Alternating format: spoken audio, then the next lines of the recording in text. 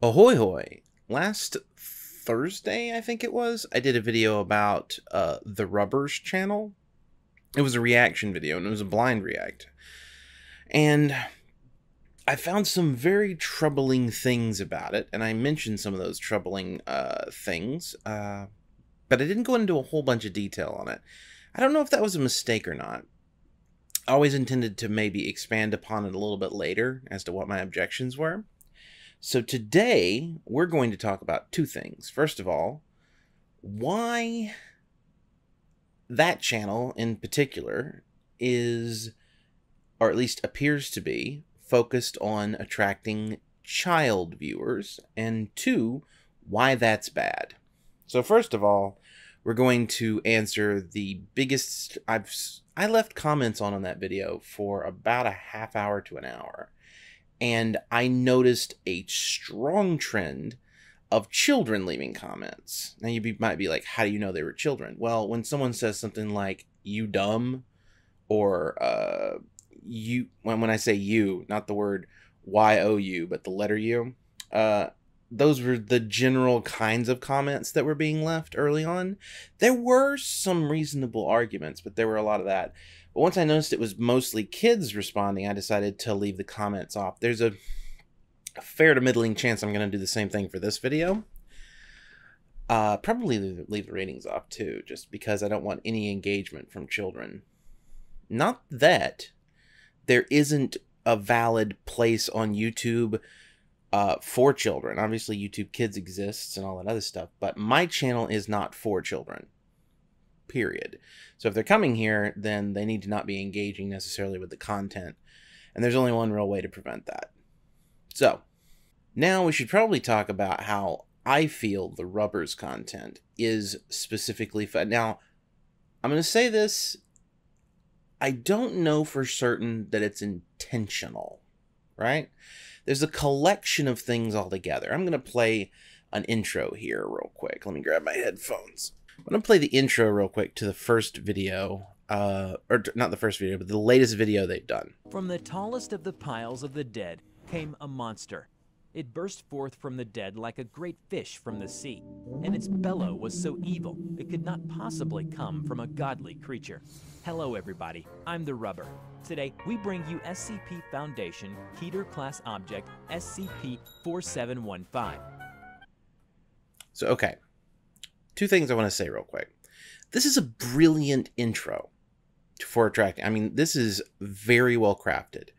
However, first of all, I will say the animation style differs slightly. When we talk about this cutesy little mascot here, there's a big difference between that and some of the other artwork that you see. The cutesy mascot is the biggest issue I would see with this. When you create a character like that that looks like a child, children tend to want to be associated with it. They'll be like, "Oh, is this for me?" Your when your mascot looks like a kid, kids will view your stuff. Secondly, the very very simplistic language here. From the tallest piles of the dead came forth a monster. This is uh I, assume this is just something that this person came up with. And I understand from what I've been told that this person's first language is not English.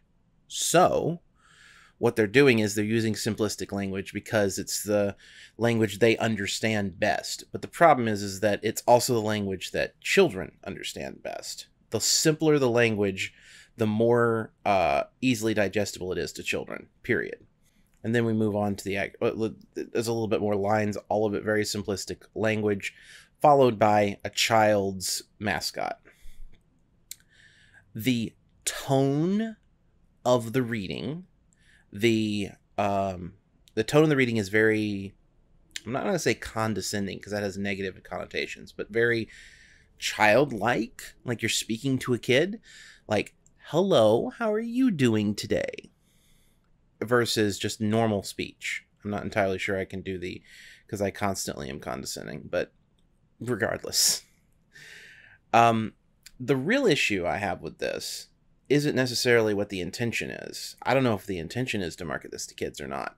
Maybe this is just this person's art style combined with limited grasp of English, combined with uh, a particular design that they didn't give too much consideration to. uh, for their mascot. Maybe these three things combined accidentally to form a perfect storm. And the only reason I know about it is because those three things together really attracted a lot of uh, views. That's possible, right? But that doesn't change the fact that the content itself is much more focused on attracting those child viewers. Now, I want to talk a little bit about why this is bad and, and also ways that this could be fixed. Animation is not just for children. Anyone that tells you that is stupid. I'm not I'm not going to mince words on that.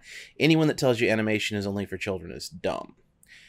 However, there is a significant difference between animation that is focused on attracting child fans and viewers and animation for everyone. And that doesn't mean that the stuff that's meant to attract child viewers and fans isn't itself also valid as an adult uh, piece of entertainment. Just because something, and this is the other half of it. When we talk about whether animation is or isn't for kids, that's that's a dumb distinction to make because animation is for everybody. But people will make this thing where they think that kids shows is a derogatory thing as if the quality of a show is dependent upon whether or not it's focused on adults or kids. There's plenty of kids shows out there that are amazingly well done and have plenty of adult fans for that reason. So i don't want to get i don't want us to get bogged down in that or confused as to what's actually going on here. But this content needs to do either one of two things. First of all, if it's going to continue to act as though it's intended for children and then display adult content. By the way, I looked this up on the YouTube Kids app. It does not show up there. So, at the very least, the YouTube algorithm is doing a decent ish job of keeping it away from kids, but that doesn't mean that it's still not appealing to the kids. But this is where we're going to dovetail into the question of is SCP content for or not for kids? I'm going to take my headphones off. So SCP content runs the gamut. There's 5,000, more than 5,000 SCP articles. There's probably at least that many tales, maybe less. I think it may be in the 3 to 5,000 range. It's hard for me to know for sure. But regardless, there is plenty of content on the SCP Wiki right now that is appropriate for children. However, there's also a lot of content that isn't, and it's not really differentiated. So the SCP Wiki itself is something that you should not be steering kids towards, since there's no way to know if they're going to encounter some fun piece of wondertainment, uh, entertainment, or something that's vicious and gory. But YouTube content's different. You, as a YouTube creator, get to decide what you're putting up on the screen. And if you know that you, even if you didn't mean to, for example, and your content can change over time. Mine's content's changed over time. Even if you didn't mean to market to children, if you look at your demographics data and you look at your pop, you know, whatever, and you see that it is a thing that is, that is actually happening, you can shift your content. Or if you think this is happening and you'd like to continue doing what you're doing, you can put a warning in front of it. Adult animation often has warnings put in front of it because parents and children both just assume incorrectly that animation is for kids. That's fine, as long as it's corrected. If you put a little disclaimer at the beginning, SCP Illustrated does that, and his stuff is clearly adult uh, oriented uh, entertainment, but he still puts a little disclaimer on top of it because YouTube can be a little weird about animation. Just as an example, on like Adult Swim, when Adult Swim starts, when Cartoon Network transitions from Cartoon Network to Adult Swim, there's a disclaimer on the screen. And when certain shows go on, even during Adult Swim, if they're particularly adult, and I think even if not, like all of their stuff, gets a disclaimer at the beginning. By the way, this is adult content, just in case you somehow tuned in after the last warning. That's important. And as YouTubers, we get to, as I said, we get to decide what we put on our channels. So if we want to, we could choose to pick the cutesy wondertainment, cutesy, you know, robo dude, that kind of stuff. There's literally at least a thousand, probably multiple thousands worth of SCPs that are appropriate for any age. Well, maybe not any age, but most ages. The thing is, the SCP Wiki itself is another thing that we definitely don't want to be steering kids towards. One, the content.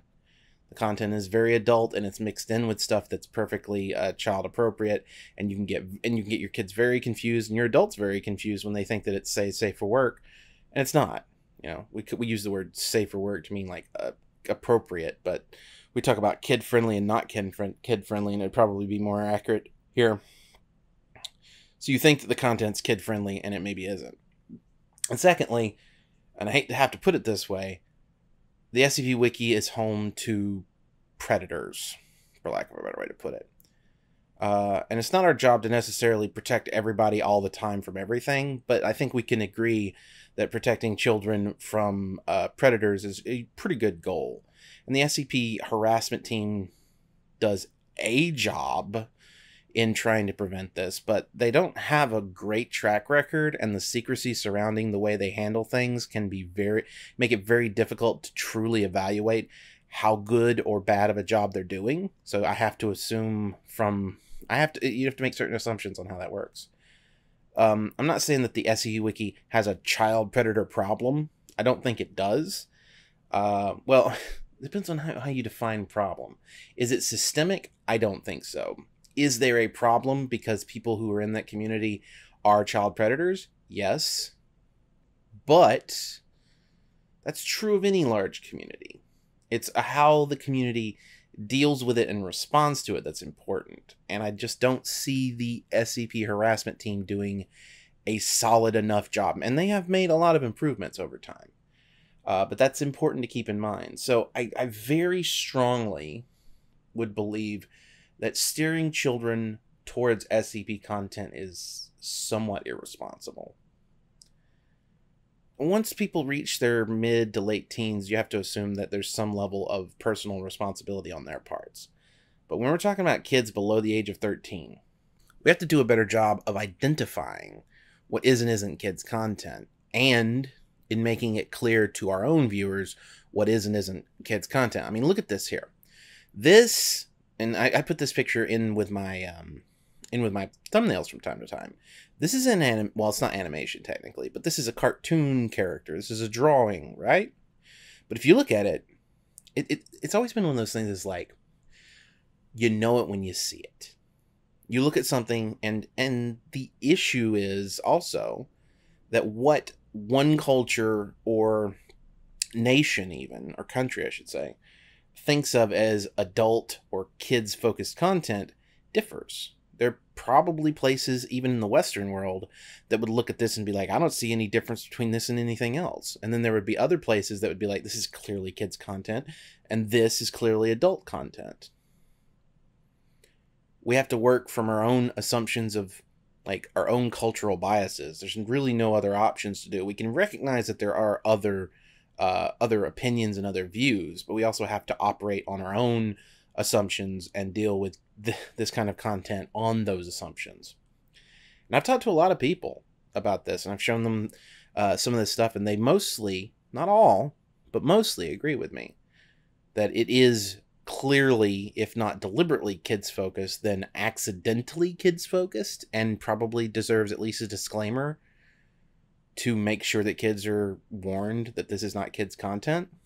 Um, because if you come across that intro just now and you're a kid, you very well may think that this is kids content. It's pretty reasonable. But it isn't. That's it. That's the long version of my reaction now that I've had about a week to think about it and actually put together a video about it. And like I said, there's probably not going to be comments enabled on this video because, as I said, the people who are attracted to the last video based on the content that was in it tended to be children. And YouTube does automatically, if you choose that something is intended to be focused on kids, will automatically disable comments and ratings. Um, I did it preemptively because I could see that it was kids. But that was on me. And I'm probably going to do it again. That's it. Thank you very much for watching. If you enjoyed the video, please hit the subscribe button and then hit the notification bell next to that so you're notified when I upload new videos. Then head on over to patreon.com forward slash D Cimmerian and pledge at any level like everybody here on the screen already has, including Dr. J Redacted and Vivi, who have both pledged at $100, and Morgan, who has pledged at $40. It's nice to know that I'm not alone out here. And I'll see you all again on Tuesday.